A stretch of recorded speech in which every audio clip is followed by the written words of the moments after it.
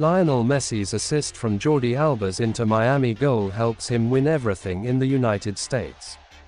Jordi Alba, a new member of Inter Miami, has stated that he wants to join the Herons. At the new team, he wants to assist Lionel Messi in everything. Inter Miami's most recent acquisition on the summer 2023 transfer market is Jordi Alba. He joins Lionel Messi and Sergio Busquets, two of his former Barcelona teammates who came on a free transfer.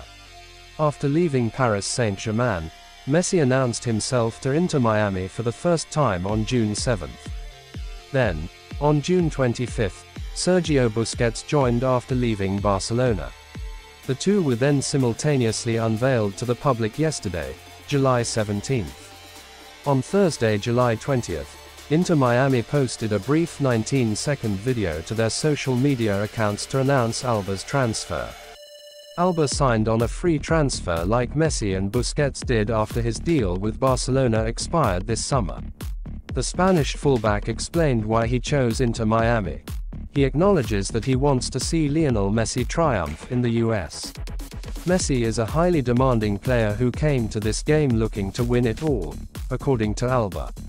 So, I'm here to help him, he continued.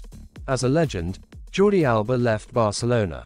The 34-year-old defender has defended Barcelona for 11 years and has won numerous championships as a result. Alba has won six titles from the Spanish League, five from the Copa del Rey, four from the Spanish Super Cup, one from the Champions League, one from the European Super Cup, and one from the Club World Cup.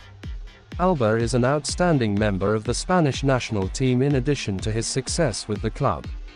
One Euro title and one UEFA Nations League trophy have been won by the defense with 93 national team appearances for Spain.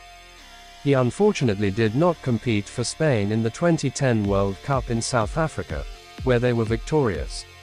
There is still time for Inter Miami to add a second former Barcelona player.